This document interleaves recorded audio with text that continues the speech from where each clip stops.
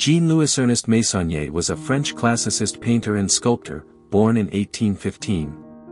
He is best known for his depictions of Napoleon, his armies, and military themes. Meissonier's attention to detail and meticulous craftsmanship earned him great acclaim during his lifetime. His work was highly sought after, commanding high prices in the art market. Meissonier's artistic style belonged to the classicist movement. He specialized in capturing scenes of chivalry and masculine adventure set in pre-revolutionary and pre-industrial France. His paintings often depicted 17th and 18th century life, showcasing the grandeur and elegance of the era. In addition to his artistic achievements, Meissonier was also a respected teacher. One of his notable students was Edouard Detaille, who would go on to become a renowned artist in his own right. Meissonier's influence extended beyond his own artwork, shaping the development of future artists. Jean-Louis Ernest Meissonier was a renowned French classicist painter and sculptor, best known for his remarkable depictions of Napoleon, his armies, and military themes.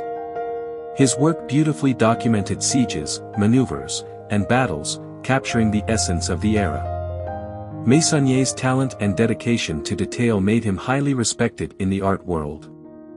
Meissonier's meticulous craftsmanship and attention to detail earned him great success during his lifetime. His ability to capture even the smallest intricacies in his paintings amazed critics and art enthusiasts alike. The renowned English critic John Ruskin praised Meissonier's work, marveling at his manual dexterity in his ability to create fascinating minutiae. Meissonier's work commanded high prices, allowing him to purchase a grand mansion in Poissy in 1846.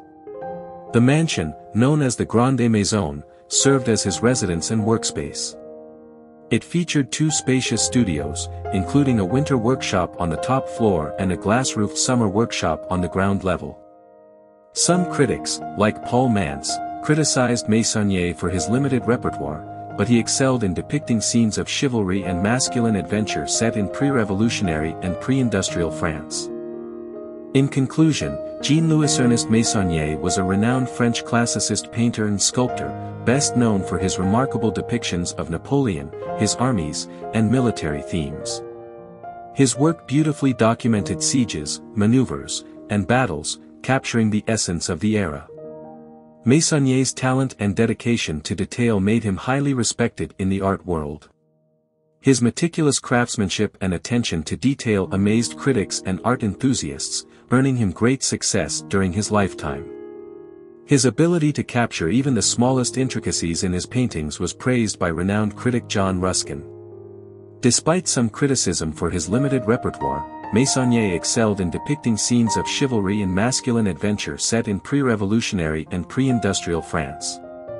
His work commanded high prices, allowing him to purchase a grand mansion in Poissy in 1846, where he created his masterpieces.